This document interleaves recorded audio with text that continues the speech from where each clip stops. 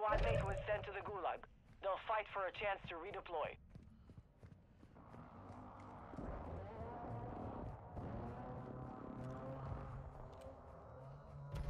Strongholds located. Targets are marked on your attack map.